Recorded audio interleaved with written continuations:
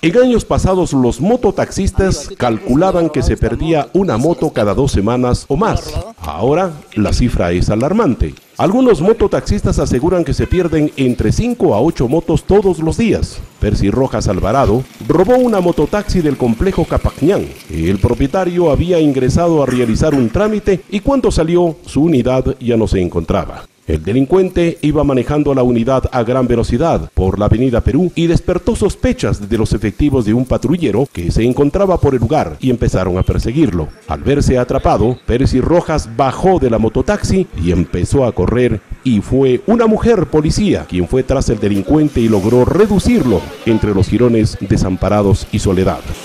¿Cómo permiten las autoridades que diario se pierda de 5 a 8 motos?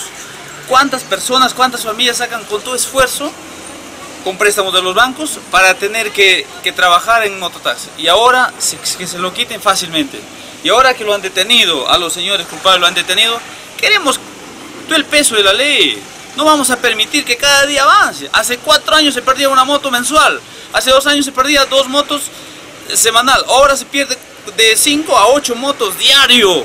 Los conductores son víctimas de robo en un pequeño descuido. Se roban las unidades y luego las encuentran desmanteladas en algún lugar descampado. El detenido también tenía en su poder tres llantas. Las autopartes de las motos las venderían en un taller conocido como Santa Anita y cada llanta costaría alrededor de 50 soles en este mercado negro. Señores autoridades, ¿dónde, ¿dónde están ustedes? ¿Por qué no coordinan para que tengan que que hacer algo por Cajamarca, o es que nosotros tenemos que levantar con una pistola y disparar al quien, al quien roba este tipo de unidades.